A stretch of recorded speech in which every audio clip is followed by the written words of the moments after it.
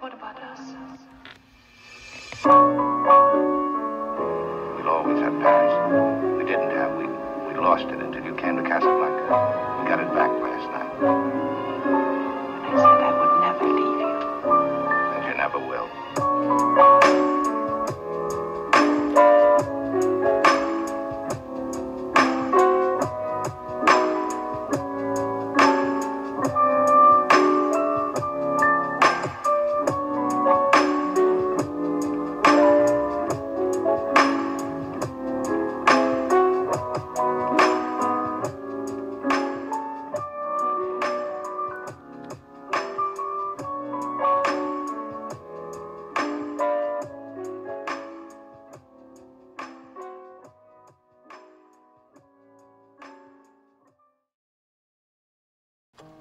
I am a New York girl, born and bred, raised in the same West Egg of Long Island that Fitzgerald used as the backdrop for The Great Gatsby.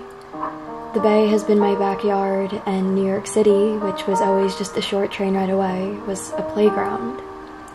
But like many kids who dream of leaving their hometowns for college and building new lives elsewhere, I wanted to leave, and when I got into Cal and decided it was where I wanted to go to college, I really had no reservations about moving across the country.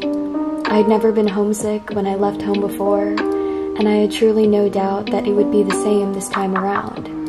I believed that I had simply outgrown New York, outgrown the version of me who lived there, and was fully ready to embrace a new version of me in a new city with new people. And then the world stopped. The COVID 19 pandemic rendered people in quarantine. It put a halt to my plans like it had for virtually everyone else in the world. And despite believing that I would always head off to college after graduating from high school, I'm still sitting in New York, taking classes over Zoom.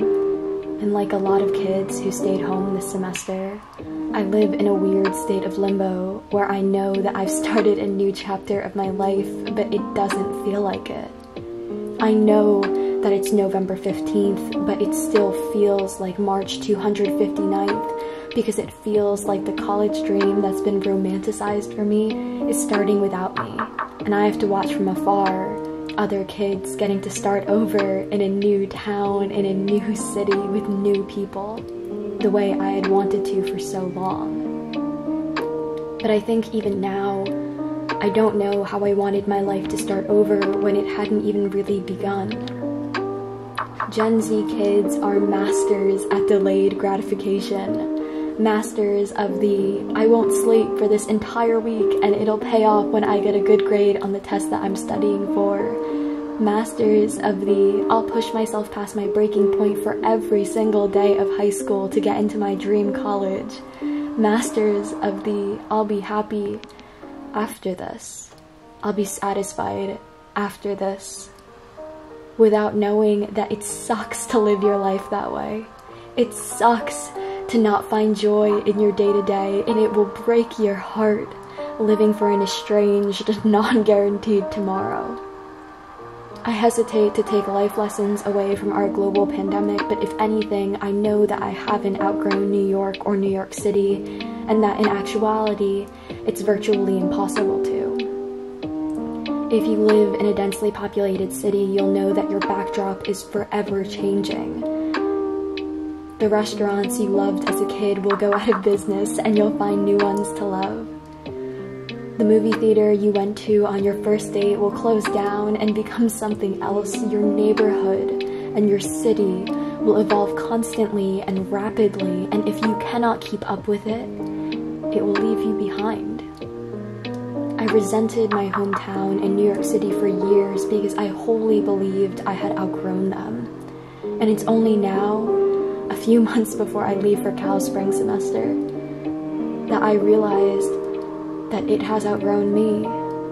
That I could not keep up with its rapid evolution and instead shrunk back into a person who believed her growth was destined for another time, for another city. It's not.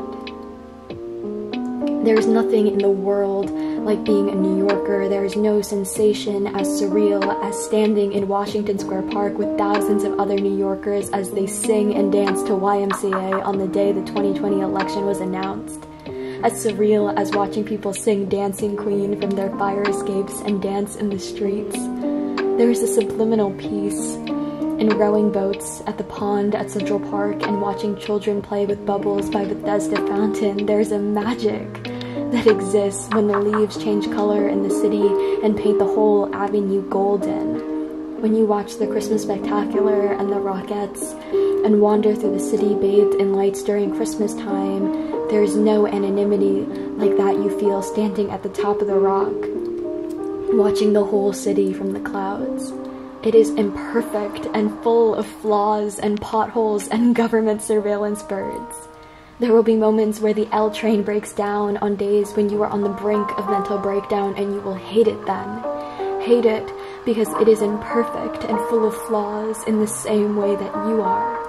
Because you are the truest reflection of it, and it is the truest reflection of you. Is this an incredibly long-winded explanation of why being from New York is a personality trait? Perhaps. But is it also my apology and love letter to my city? Also, perhaps. So I'll be back, New York. And when I come home, it will be home.